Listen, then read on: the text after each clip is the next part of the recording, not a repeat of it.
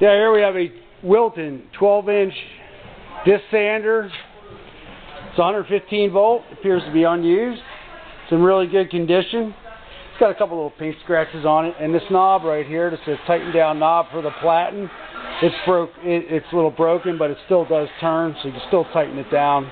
You that's easily replaceable there. Okay, uh, we have it powered up so you can watch it run. It does vibrate a little bit.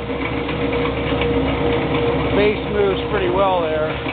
See, kind of sliding around there. We tightened down a lot of the bolts and everything, but it still does uh, vibrate a little bit. So it kind of wants to walk. So in any case, it comes with a uh, disc here, sanding disc, the platen. Here's your miter gauge and your instruction and parts manual. And we thank you for looking at our product.